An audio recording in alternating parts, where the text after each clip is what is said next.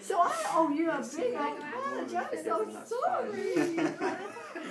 I should have insisted more. yeah. Well, you know, I would have kept saying, I have orange juice. So I think I drank yours as well anyway. So. I'm sorry. uh, well, hey, let's do something with our little Makaya baby.